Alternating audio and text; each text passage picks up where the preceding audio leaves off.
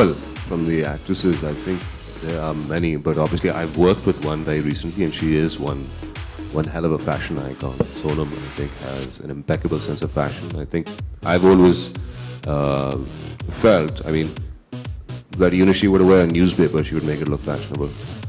So, so um, her and amongst the guys, again, there are many names. I like the styles of everyone, you know, because they carry it with their own attitude. And I think style and fashion is all about attitude.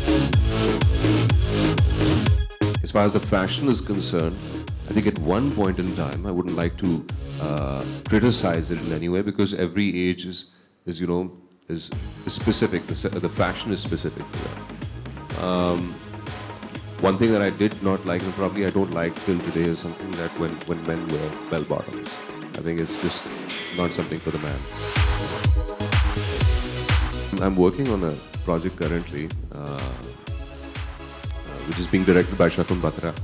It's called Kapoor and Sons. It also has, uh, you know, a lineup of great other actors in the film: Siddharth, Alia, um, Rishi Saab, uh, Ratna ji, Rajat sir.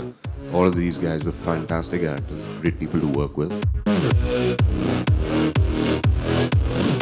आपकी एक picture आई थी करीना कपूर के साथ photo जी। तो अ, कोई film करने वाले हैं उनके साथ कुछ बताना चाहेंगे उसके बारे में जी जी वो हमारी एक फ़िल्म सेट से ही थी we were shooting for film and you guys got that picture No, was, she was promoting for Bajrangi Bhaijaan and I was doing a photo shoot for Giovanni in the same studio.